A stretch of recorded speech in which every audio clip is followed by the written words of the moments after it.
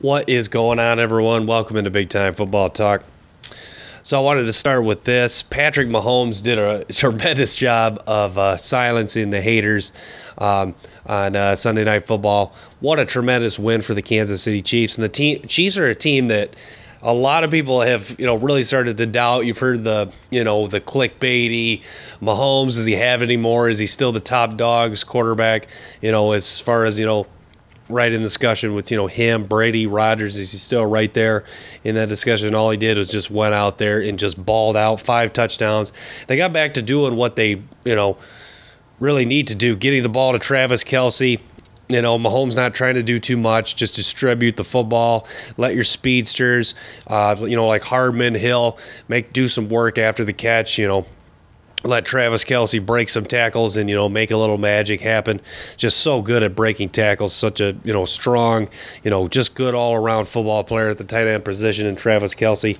So, uh, but yeah, this look this is a team that Andy Reid looked focused. They all look focused, and this is a team that just looks like they're just hungry to get better. You see, you know, Tyrann Mathieu even, you know, said that he needs to, you know, step it up and kind of, you know, come with a more of like a, you know, tougher mentality, ready to play. So Kansas City Chiefs, I'm still a believer in. They're a team that I thought would get to the Super Bowl this year.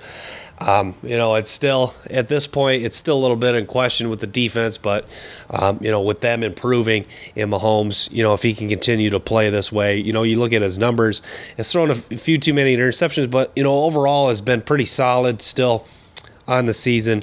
And uh, yeah, the five touchdown passes last night, the 400 plus yards was a uh, you know a great step in the right direction for the Kansas City Chiefs. And I thought it was fun that you know they kind of silenced and shut down a lot of the hate that was going on. So uh, credit Andy Reid, credit Mahomes, credit the defense. Good all around win. And it's uh, too bad for the Las Vegas Raiders. Hopefully that doesn't you know step them in the wrong direction with you know everything that's gone on as far as Jon Gruden, Henry Ruggs, and uh, you know Damon Arnette being released. And uh, you know hope you know hope hope the Raiders can rebound from this. You know Derek Carr has some questionable decisions, kind of just threw the ball up for grabs several times. The defense you know was a little shaky for the Raiders, but uh, so good win for the Chiefs. Good step in the right direction. Um, questionable performance by the Raiders. We'll see who they go from there. Next, I want to get to the excuse me the college football rankings. Coming in at number one is the Georgia Bulldogs, a team that's looked dominant all season, very deserving of uh, the number one ranking. Nine former five stars on uh, the just the defensive side of the ball alone. Number two is Alabama. Uh, with just the uh, one loss to Florida. Hasn't looked like the Alabama in recent years. I mean, they're not completely dominating, but uh, you know, doing enough to win games. Just the one loss to Texas A&M on the, by three points on a walk-off field goal. Uh, number three, Oregon Ducks. Oregon just the uh, one loss to Stanford in overtime on the road. Uh, number four, Ohio State. Ohio State just the uh, one loss to Oregon at home. If you remember back in uh, week two, it seems like it's been a while. Number five, Cincinnati Bearcats. And uh, Cincinnati's an interesting team, and I'll have a, a, bit of a take on them here in a moment. Um, undefeated with uh, their top win coming on the road at Notre Dame. Number six, Michigan.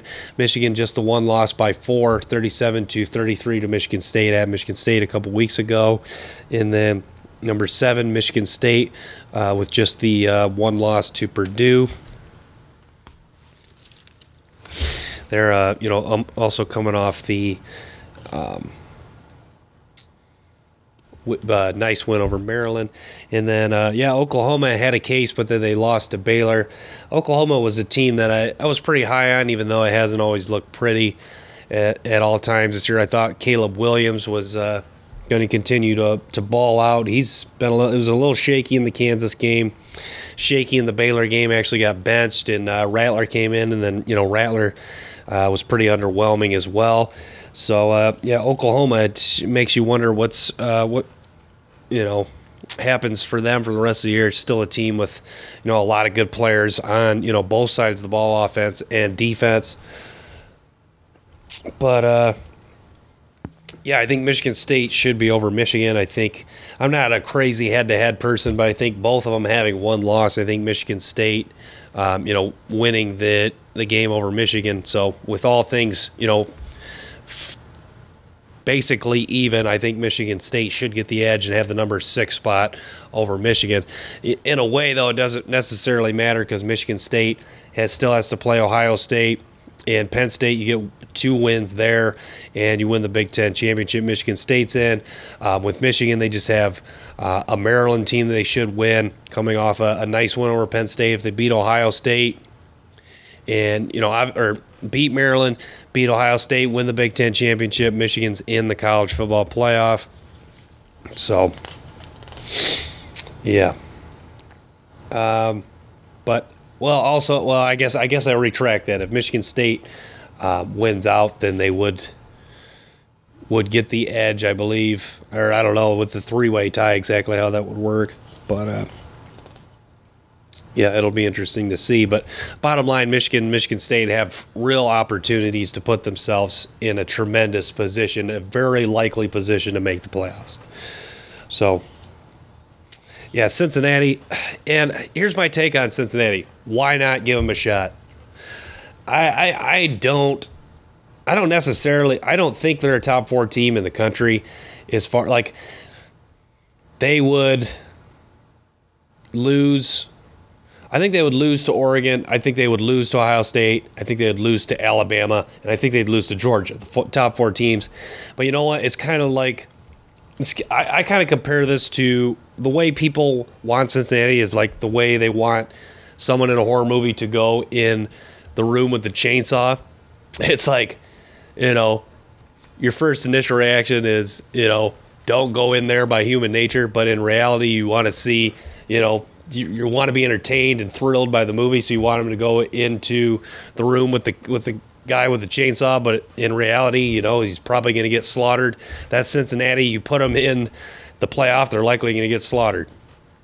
Um, so it's Cincinnati is the team where it's like, don't go in the room, but in reality, I want to be thrilled, I want to be entertained, and I want something different. So, yeah, but uh, yeah, I mean, you kind of saw a little glimpse of you know what Cincinnati is. I mean, last year people could say, oh, they almost beat Georgia. It came down to a field goal game. Georgia had several guys opted out, injured in that game. It's a, you know, by today's standard with the playoff, it was a meaningless game.